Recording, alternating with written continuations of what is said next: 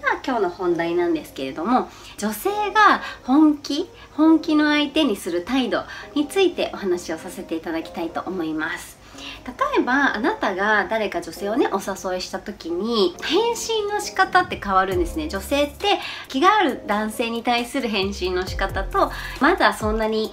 まあ、好きまで行ってないなって思う人に対する返信の仕方ってすごい天地の差があるんですね。あなたに気があるなって思って1個の指針ねをお話しさせていただきたいと思うんですけれどももしあなたがこういついつ空いてますかって誘ったとしますよね。いつでもいいですみたいないつでも空いてますみたいなね言い方。あなたに日にち合わせますみたいな言い方をしてくれる人はあなたに対して結構気があると思っていただいて OK です。もしくはその日はダメなんだけれどもいついつなら大丈夫ですっていう代案をねこう必ず提案してくれる。あなたに会いたいあなたのことが結構ねいい感じに好きだなってもう一回会いたいなっていう風に前向きに考えてくれてたら必ず女性の方からも提案してくれます。難しい場合はねその日程が難しい場合はいついつなら大丈夫ですけれどもあなたはどうですかっていう感じで代案をくれます。誘った時にその相手の食いつき方によってまだ自分のねレベル相手のこう気持ちのレベルをね測ることができますのでもしこう忙しいから忙しいから忙しいからっていう風に忙しいしか言ってくれない場合は同じように誘ってもただただこう断られてしまうだけなので手をね変えていかなきゃいけないんですけれどももし代案をくれたら結構前向きにね考えてくれてるんだなって思ってもらって大丈夫なので手の打ち方も変わってくると思いますので是非そこをね参考にしてみてください。では今日はですね簡単に女性の気持ちがわかる方法というお話をさせていただきたいと思います。で本当にね、どんだけ女性の気持ちが分かれば楽かなって思った経験ある方いっぱいいると思うんですよね。もう女性は何を考えているのか分からない。分からないこそ、分からないからこそどう接していいか分からない。ね、どう接していいか分からないから先に進まない。みたいなね、ジレンマに陥ってしまっているすごくもったいない素敵な男性がいっぱいいるんですけれども、例えば女性からの連絡が急になくなったとか、返信は来るんだけれども、お誘いをすると、なんか日程が決まらないとか、もしくは、えー、忙しい。ね、いつ誘っても忙しい、忙しい、忙しいの一点張りだとか。はっきり言って女性は何を考えてるんだと。返信をくれるんだったら、ね、興味があるのかなってこっちは思ってしまうじゃないかと。ね、怒りたくなる時もあると思うんですよね。じゃあ、そういう風な対応をしている時の女性の本音っていうのは一体何なのか。今日はその本音についてお話をさせていただきたいと思います。概要欄から LINE のお友達を募集してます。こちら今日やるゲリラライブのね、えー、案内が LINE から送られていきますので、ぜひぜひ限定の LINE、ライブ配信になりますので、お友達になってください。チャンネル登録の方もお願いします。はい。では、急に連絡がなくなる女性一体何を考えているのか急に連絡をしなくなる女性の本音は何なのかきたくなる時ってあると思うんですよねじゃあその本音をまずお伝えしますね急に連絡をしなくなった女性っていうのね、女性の心では一体何が起きているかというと、それはですね、まず一つ目。一つ目は単純に忘れている。で、あなたがいいなって思うような男性、女性ね、あなたがいいなと思うような女性っていうのは、やっぱりね、多くの男性から人気があるんですよ。それは婚活パーティーだったり、アプリだったりもそうなんだけれども、人気のある女性の連絡の来る率って半端ないわけですよね。今は女性も肉食だから、結構連絡が来る男性も多いとは思うんですけれども、それでも男性の日にならないくらい、女性は男性からバシバシ連絡が来てるわけです。なので、急に連絡がなくなったっていうのは、単純に LINE の方でどんどんどんどん下に行ってしまって、一旦開いたんだけど、返す時間がなくて、そのまま上にね、いろんな人から連絡が来るから、単純に忘れているっていうことが考えられます。そして2つ目。2つ目の理由は、あんまり興味がない。それはですね、あんまり興味がないっていうのは2パターンあるんですけど、あなたにあんまり興味がない、ちょっと残念なね、寂しいパターンと、あとはあなたの LINE の内容に興味がないというパターンがあります。なので、LINE の内容に興味があれば、あなたに今現在興味がなかったとしても問題がないんですよ。LINE の内容は答えたくなるような、返信をしたくなるような内容であれば、返信は来ます。女性からの返信は来ます。なので、ぜひね、忘れられてても、あまり興味がないっていうのも、そこまでマイナスに捉えないでいただきたいんですね。後でどうしたらいいかお話しますので、あまりマイナスに捉えないということをまず覚えておいてください。そして二つ目。二つ目はですね、他の人の優先順位が高いということですね。さっきも言ったように、人気のある女性っていうのは、もうどんどんどんどんもう何十件も何百件も来る人もいるわけですよ、メッセージが。そんな何十件も毎日こなすのってめちゃくちゃ大変なわけですよね。なので、他の自分がいいなって思っている男性からやっぱり返信をしていく。そして連絡が来る男性から返信をしていく。なので、優先順位がどうしても下がってしまっているっていう状況になっている場合がある。なんだけれども、気にしなくて大丈夫です。今時点で優先順位が低かったとしても、後で上げていけばいいだけの話なので、まず何をしたらいいか。それはですね、今から話しますよ。3つやってほしいことがあります。急に連絡が来なかった。そういう場合は、再度送ってください。忘れられているだけの場合があるから、再度送っていただきたいんですね。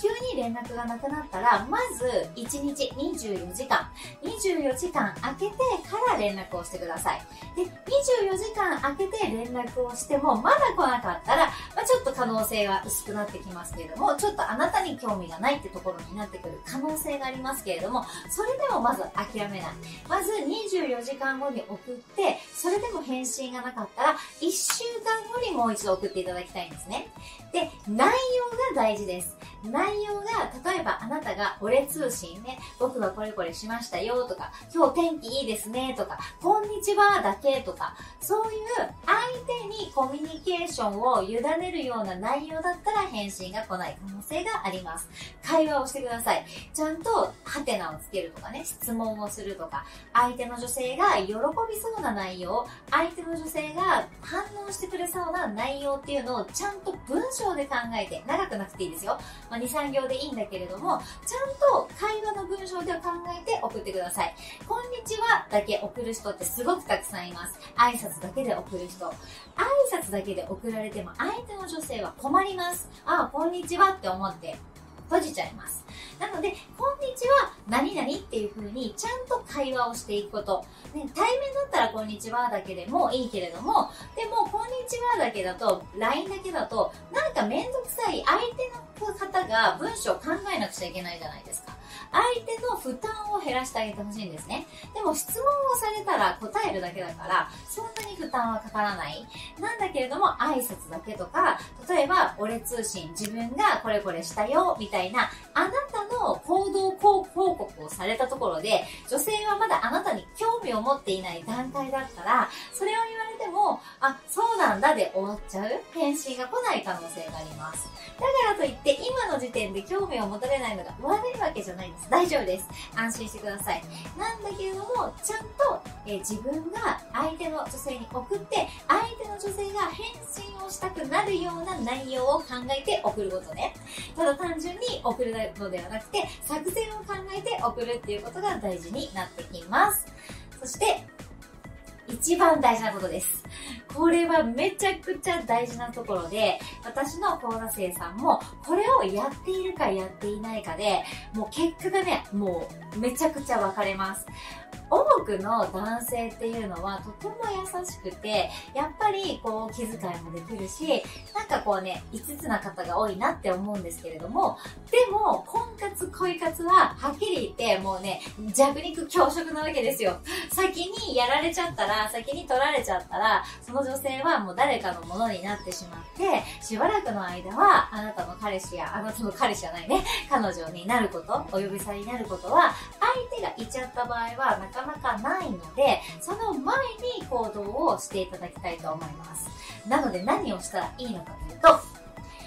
他の人の優先を高くしてください。要は、その女性だけをこうやって見るのではなくて、他の女性にもアタックをどんどんしていく。その女性のことばっかりを考えるのではなくて、他のたくさんの女性にモテるっていうそのためにはどうしたらいいかっていうことを考えるいろんな女性と交流をしていろんな女性と会話をしてその一番大好きな女性とお付き合いをできるその時が来る時のためにじゃないですけれどもたくさん練習をしていただきたいんですね。練習をしなかったら本当にねあの上手になりませんから女性の気持ちを知ることも女性を接する、ね、女性との接し方っていうのも本当に練習何度も何度も繰り返してやることによって上手になっていくものですのでぜひねあのたくさんの女性にモテててください。おさらいしますね。まず一つ目。一つ目は、LINE で連絡が急になくなったら、再度送ってください。24時間後以降にね。そして、えー、それでも連絡なかったら1週間後に送る。そして最後一番大事なのが、優先順位を他の人にする。ね、他の人を、ね、といっぱいアプローチしたり、デートしたり、会話をすることによって、あなたが好きな人のことを忘れていただきたいんですね。そうしていくことによって、やっぱり女性の気持ち持ちってすごくよく手に取るようにわかるようになってくると思います。もう数が大事です。私が言っていることを参考にしていただいて、自分の肌身で感じて、そうなんだなっていう風に頭だけじゃなくて、あの、実際にやっていただいて、心で解釈していくことがあなたの経験になって、それが素晴らしい財産になっていきますので、ぜひやっていただければなと思います。では、今日はですね、ひも手男子がやってしまいがちな NG な言動というお話をさせていただきたいと思います。はい。えー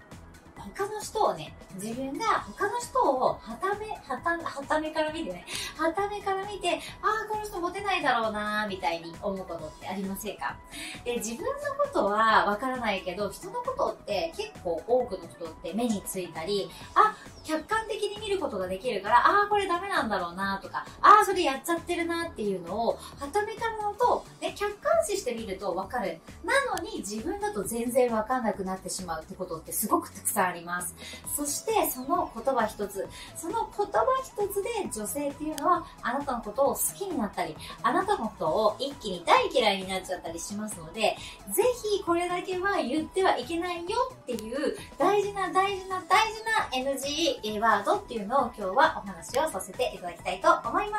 す。では、絶対に言ってはダメな言動、これ3つ今日はお話をさせていただきたいと思います。まず、よく男性がやってしまいがちな NG 言葉で、男性が女性のことを気遣っている。気遣って言った言葉が女性にとってはすごく嫌だ。ね、何なのこの人っていう風にマイナスに取られちゃう時があります。正直、これっていうのは女性側の問題であって、男性が悪いわけではない。なんだけれども、女性はそうやって思ってしまう。分かっていたらなるべく言わない方が地雷になってしまいますので気をつけてください。それは一体何かというと、疲れてるっていう言葉です。で、これすごく大事なのが、疲れてるって聞くのって、まずね、20代の後半ぐらいまでは大丈夫です。で、20代の後半ぐらいまでの女性に疲れてるって聞いたら、あ、優しい人だなって思うようです。なんですけれども、だんだん荒さ以降になってくると、疲れているっていう言葉を言われた時に、頭の中で、やつれてるっていう風に解釈しちゃうんですね。あなたは、やつれてるだなんて一言も言ってないんだけれども、やっぱり女性っていうのは、年を重ねていくと、だんだん肌の衰えを感じてくるわけです。そして、肌というものに関して、女性はすごく気をつけています。ね、私も今日は化粧水で美容液だったり、化粧水だったり、クリームだったり、ね、なんかいろいろ使ってるわけですよね。その肌というものに関して敏感なんですよ。で、疲れてるっていうことは血色が悪いとか、肌の色が悪いとか、要は健康的な血色のあるピカピカした、えー、ツヤツヤしたお肌ではないよねっていう風に勝手に解釈するんですね。そして私が例えば疲れていない時に疲れてるって聞かれたとすると、老けたっていう風にも解釈できちゃうんですよ。なので、男性がね、あなたが気を使って、なんか今日元気なさそうだなとか、なんか今日ツヤがあんまりないなって思った時であったとしても、疲れてるっていう言葉は絶対に言っちゃダメなんですよ。もう NG、禁止、この言葉。これを言われて傷ついてる女性たちはもう何にも何にも何にも私もね、思いましたけど、何人も見てますので、疲れているっていうことは絶対に言わないようにしてください。そして二つ目。二つ目はですね、大雑把に褒めるというところです。例えば、大雑把に褒めるということはすごく大事なんですけれども、大雑把、例えば、なんか、なんかこう、誰にでも言っているような言葉っていうのは、女性は嬉しいなとは思うんだけれども、でも、結構大雑把に、ね、なんかちゃんと見てないで、誰にでも言っている、誰でも言えるような言葉っていうのを発しているんだろうっていうふうに思います。例えば、可愛いねって言われるより、笑顔が可愛いねっていう風に言われた方が、えー、女性はすごく嬉しく感じるんです。ただ、ただですよ。ただ、若い女性は逆にピンポイントで褒めた方が嫌だと思うらしいです。例えば、笑顔が可愛いねって言われたら、笑顔じゃない顔は可愛くないのっていう風に思うらしいんですよ。だけど、アラサーアラフぐらいになってくると、いや、笑顔が可愛いねって言われる方が嬉しい。大雑把に可愛いねって言われるよりも、あ、ジュリちゃんの笑った顔がすごく可愛いねって言われる方が、あ、私のところを、私のことをすごくたくさん見てくれてるんだとか、私の細かいところを見てくれてるんだとか、そういうことに対して安心感を覚えたりするんですよ。だから、もうアラサー・アラフォー以降の女性っていうのは、すごく細かく褒める。例えば、足綺麗だね。まあ、あんまり身体的なね、ことは褒めない方がいいけれども、指先が綺麗だねとか、そういうのは意外と嬉しい。手が綺麗だねとか、ね、結構褒めてくれる人いて嬉しくてありがとうございます。爪が可愛いねとか、手が綺麗だねとか、指が長いねとか、言われる方がね、結構まあ、年を重ねた女性は嬉しいんだけれども、でも若い子はね、手が可愛いねとか言うと、手以外は可愛くないのかって思う人が多いらしいです。ね、私はちょっと過去のことなんで忘れてしまいましたけど、なので、本当に年代によって褒め方っていうのも変わってきますので、なのでそれを知らないで大雑把にね、えー、褒めたら、なんか私じゃなくて違う人にも言ってるような褒め言葉なんだろうな、ふん、みたいな風に思われちゃう可能性もある。だけど、若い子にとっては、細かく褒めてみたら、意外と、なんか嫌な感じ、嫌な顔されちゃって、え、それ以外は可愛くないんですか？みたいな風に、へそを曲げてしまう可能性がある。だから、年代によっても、その褒め方っていうのを、ちょっとね、工夫していった方が、えよりよく、いろんな幅の世代の人に好かれていくんじゃないかなと思います。今ね、えー、年齢重ねている人でも綺麗な女性たくさんいますので、そこはこう、相手を見ながら、大雑把に褒めたりとか、細かく褒めたりとか、あとははたまた人によってその感じ方っていうのも変わってきますので、まず大雑把に褒めてみて、喜んだら相手をもうちょっと細かく褒めてみるっていう、そのステップを踏むっていうのも大事かなと思います。はい。そして3つ目。話を聞いていないです。ね、よく多くの男性は話を聞いていると思っているんですけれども、上の空の人って結構たくさんいるんですよね。次の話何しようかな。で、会話をしている間に、次何話そうかなとか、こういう場合なんて言おうかなとか、相手の葉を聞いているのではなくて、自分が何をしよう、話そうか、何を話そうか、ね、これ話聞いてないですよ。何を話そうかっていうことを考えてしまっている人ってすごく多かったりするんですね。で、女性っていうのは、その相手がどういう風な状態で聞いているのかっていうのを、すごく把握するのが得意なんですよ。相手が興味ありそうなのかな、相手が興味なさそうなのかなっていうのを、相手の表情だったりとか、言葉数だったりとか、前のめりの姿勢だったりとかっていうのを見ながら感じることができやすいですね。でも男性はそれをちょっとね、把握する、察するという力が女性にね、よりはかけてはいない脳みそを持っていますので、相手がどういう状態で聞いているのかっていうの分かんなかったりするんですよ。だから自分は、あ、そうだね、そうだね、みたいな感じで話を聞いているふりをしていて、それがふりだとバレていないと思いがちなんですけれども、女性っていうのは、あ、本当に楽しそうに聞いてくれている時と、ただ、あ、そうだね、いいね、すごいね、っていう風になんかこっちからこっちに流して聞いてくれてるのかなっていうのは、逐一感じることができます。なので、ぜひね、自分が何を話そうって考えるのではなくて、相手の女性の言葉をしっかり聞いて、それに対して答えるっていうことをやっていかないと、女性から嫌われてしまうね、大きな大きな要因の一つになってしまいますので、ぜひ会話っていうところを心がけていただければと思います。はい、じゃあおさらいしますね。まず一つ目、疲れてるっていう言葉は絶対に言っちゃダメです。特にアラサー以降の女性に疲れてるは禁句ですので、絶対に言わないようにしてください。そして二つ目、大雑把に褒める。大雑把に褒めていいのは20代まで。で、30代以降は細かくね、褒める。ね、指が綺麗だねとか、ね、えー、目がキラキラしてるね、みたいな感じで、えー、大雑把ではなくて細かく褒めてあげた方がいいです。そして三つ目、話を聞いてない。これも全然ダメです。話はちゃんと会話っていうのをしてください。え次、自分が何を話そうかと考えるのではなくて、相手の言葉を聞いたことに対してリアクションをするっていうことを心がけていってください。じゃないとバレてしまって嫌われてしまいますので、ぜひぜひ頭に入れておいてくださいね。はい。では、えー、この動画が役に立つことを嬉しいなと思います。はい。では今日も一日お疲れ様でした。ゆっくり休んでくださいね。また明日